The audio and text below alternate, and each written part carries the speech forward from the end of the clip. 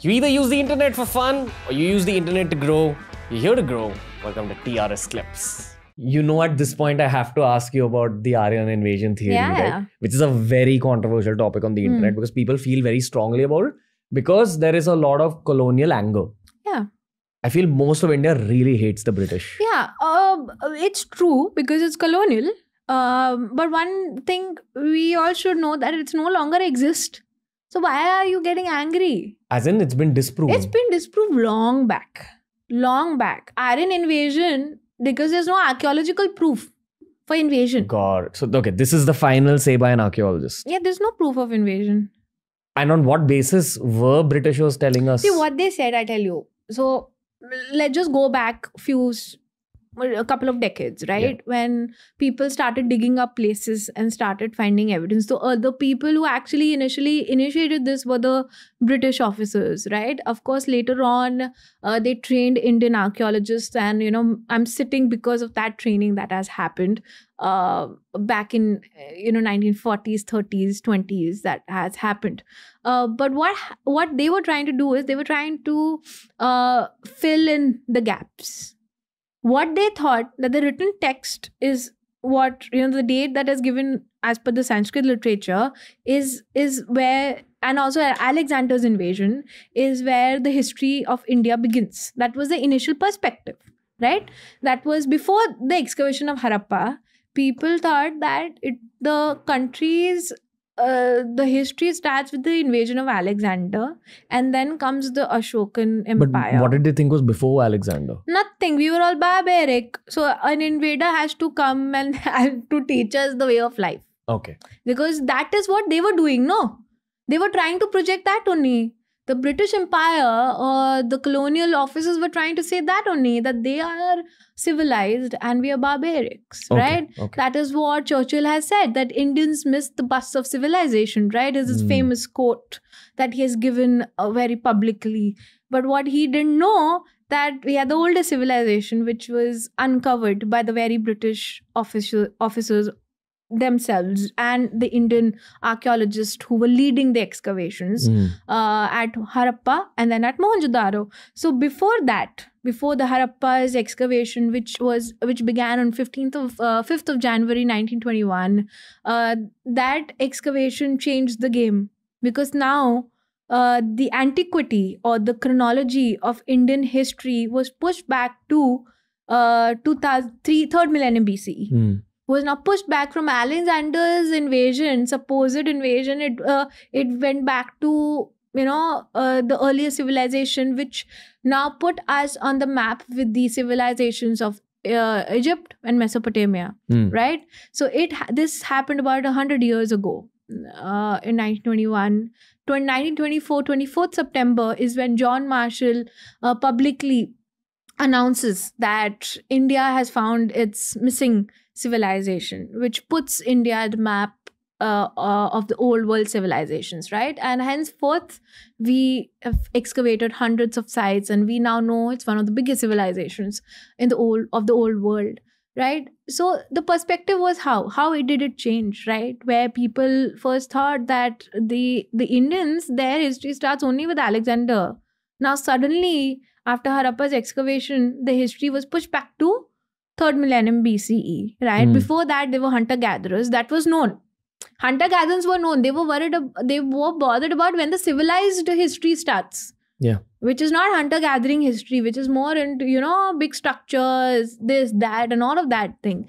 So now they know the civilized history starts about you know third millennium BCE, and then slowly, steadily, this excavation work started happening. More Harappan sites came uh, uh, into the picture, and the evidence came to the picture.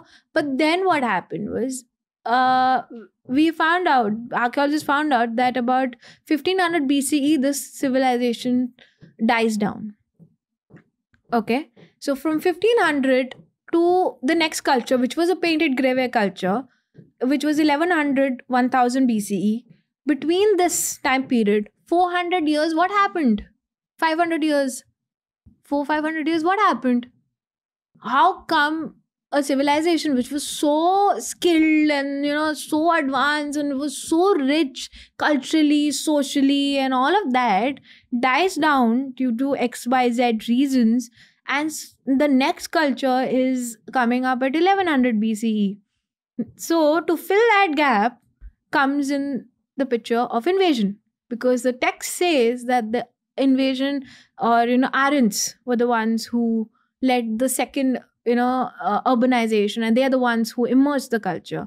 So there people started playing the gap in the archaeological data and started filling in that harappans did not disappear due to environmental crisis or any other crisis but an invasion happened that killed people and then they the invaders were the ones who came settled and they are responsible for this the next urban Mm. urban because that urban uh, the second urbanization was much more advanced which was this you know rise of Magadh and all these Hmm. republics so they're like you know see earlier they were just you know town planners and all these people were pushed down or you know invaders came so they ran down to south and then there was a blank so the aryans were the one responsible for the culture's The- emergence Basically, New- saying North Indians are descendants of Europeans and South Central Indians Asians. are. Yes, they they are the uh, Harappan descendants. So Mm. this is where the Aryan invasion theory came to play because there was a gap in not history but archaeological culture. So what have? How did that gap get filled? gap got filled because we know that no Harappan sites were raided by inda- uh, invaders. Because we've not because found there's weapons. no evidence. Yes, there's no weapons. There is no mark of any invasion. And there are marks of invasions in archaeology. Yeah, we can find. Okay. See, because when we are excavating, we're not idiots. you know, people think that, you know, um, like we can't understand something and it's not there. But archaeologists' job is to pick these small, small evidence and to test them. We can very well understand if there is an invasion happened or not. okay. Right? We can very well understand if there was a war or not. We can very well understand that there was earthquakes that destroyed a city or a fire that destroyed a city. We work in with such principles and methodologies backing us that we can very well identify these things. Okay. Um. So again, what what's your conclusive thing about what happened in that 400 year period? People just so migrated. slowly when you know when this theory came up and then the with archaeology developed sites being excavated the data started filling in so eventually when the data was filled in people realized that there is no invasion it's just one theory that was put forward put forth. And now if you test it it does not stand a chance. So there was no aryans who invaded the subcontinent. So therefore that theory got dis uh, like discontinued this was disregarded long back. But what replaced that theory was a migration theory the aryan migration theory. So uh, since there was no weapon there was no other sign of war or any invasion people who propounded the invasion theory initially changed their stance and said ki, look okay fine there was no invasion right? We understand. There is no weapon. There is nothing. But what is there? There is a new culture coming. So invasion nahi but migration happened. So at a particular period a migration has happened and they are the ones who are responsible for the emergence of culture which is the second urbanization and so forth right? But my stance personally if you talk about if i talk about my particular opinion um, people are migrating all the time. Hmm. harappans migrated.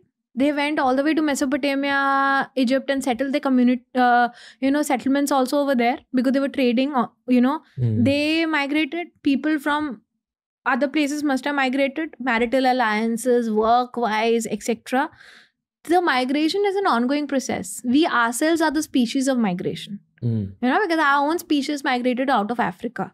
So you cannot deny that there was no migration. What i don't like or uh, approve of defining or putting in this time bracket.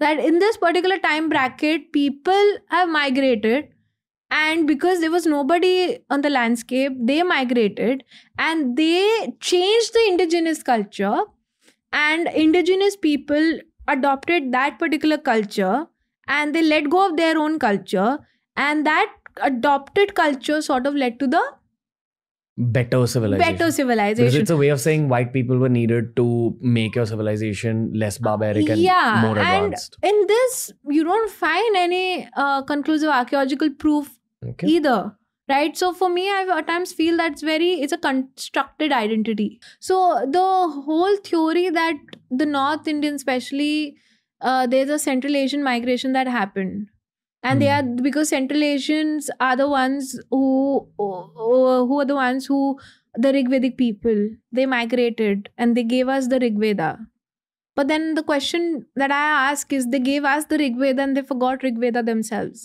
Mm. right There And I- must have been some the continuity there also Yeah. there has to be right because you don't forget you don't forget the thing these things if we are still following a lot of vedic traditions Mm. you know if, if one has to go with this theory if you adopted this Yeah. still You, you know the one the one thing I'm trying to actually learn more through the podcast is the parallels between Indian culture, ancient Indian culture, by which I mean Vedic culture, and ancient Zoroastrian culture because there are some similarities and it's very interesting. It's like Yeah. uh, basically in our stories, Asuras are the villains hmm, and Devas are the heroes, hmm. and in their stories, Ahuras are the heroes and Daeva is the villain. yeah What does that mean? yeah So, so, it could have just been two warring tribes which Yeah. painted the other tribe as the villain. see you have to also understand that the world was not living in isolation like the way we think Yeah, that it, it wasn't just cities which are far apart from each other and don't know anything. They, they knew about each other. they knew of course they knew you look at harappan sites they're spread all across gulf also yeah. Makran because they are Yeah. taking the ship all the way to Egypt and Yeah. Mesopotamia. Also, with Mohsen Raza Khan, we did an episode about the history of religion where he spoke about how even Islam is influenced from religions that existed before Islam. Like when we speak about Sufism, it was inspired by practices that were there before Sufism actually became a thing.